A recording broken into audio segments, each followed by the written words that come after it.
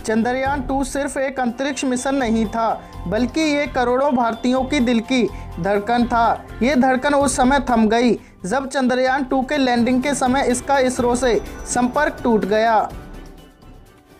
मगर इसरो शुरू से ही कहता आया है कि हम चंद्रयान टू मिशन में लगभग अठानवे फ़ीसदी सफल हुए हैं। इसरो इसलिए ऐसा कह रहा है क्योंकि चंद्रयान टू का ऑर्बिटर अभी भी सही तरीके से काम कर रहा है और चाँद की परिक्रमा करते हुए अपने वैज्ञानिक प्रयोगों को अंजाम भी दे रहा है।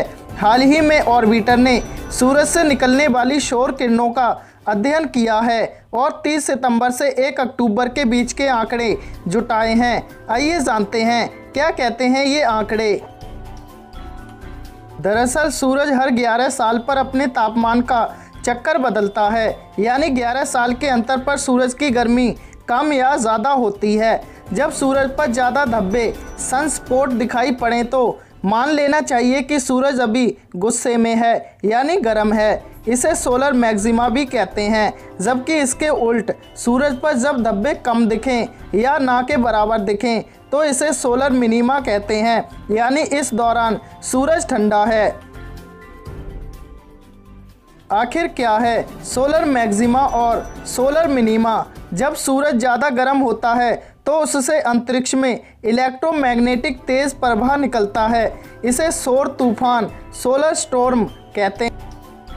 इस सौर तूफ़ान से पृथ्वी के चारों तरफ़ घूम रहे सैटेलाइट्स प्रभावित होते हैं।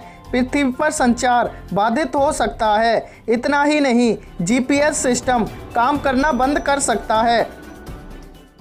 जब ये सौर तूफ़ान बढ़ जाते हैं तो पृथ्वी के उत्तरी और दक्षिणी ध्रुव पर नॉर्दर्न या साउदर्न लाइट्स देखने को मिलती हैं। इन्हें देखने के लिए लोग नॉर्वे, ग्रीनलैंड या आर्कटिक जैसे क्षेत्रों और देशों में जाते हैं।